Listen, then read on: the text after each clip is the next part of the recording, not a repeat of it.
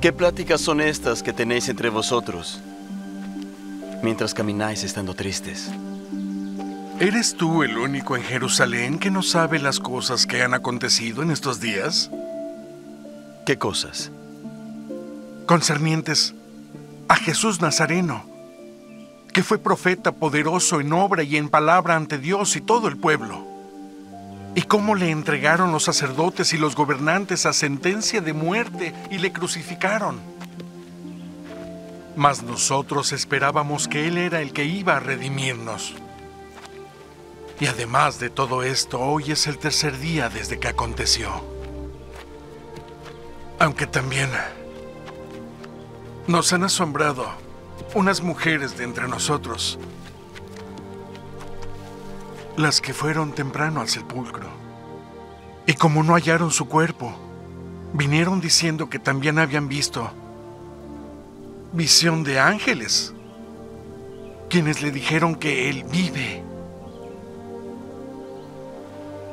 Y fueron algunos al sepulcro y hallaron así como las mujeres habían dicho, pero a él no le vieron.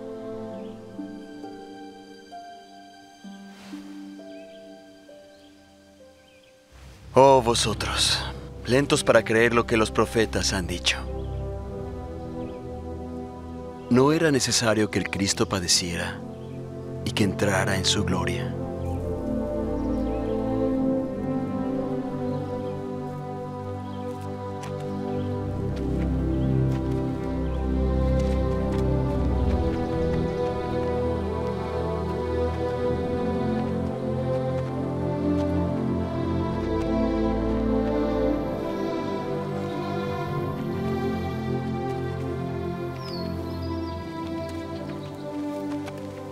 Quédate, porque se hace tarde y el día ya ha declinado.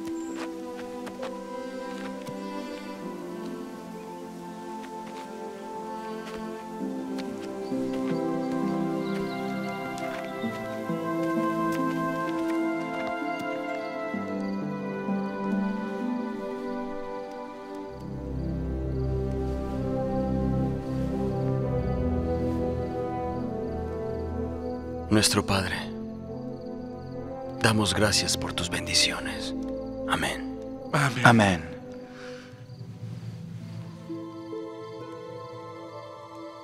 ¿No ardía nuestro corazón en nosotros mientras nos hablaba en el camino y cuando nos abría las escrituras? Debemos regresar a Jerusalén ahora mismo.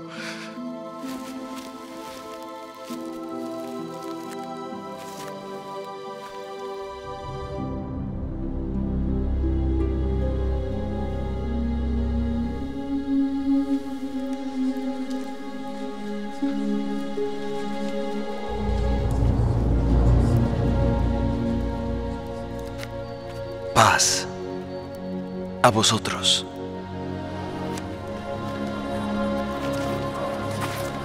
¿Por qué estáis turbados?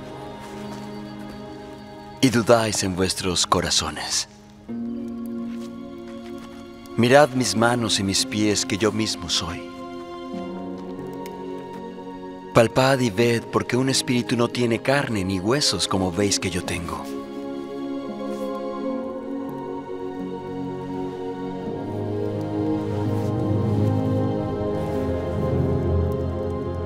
¿Tenéis algo de comer? Estas son las palabras que os hablé estando aún con vosotros.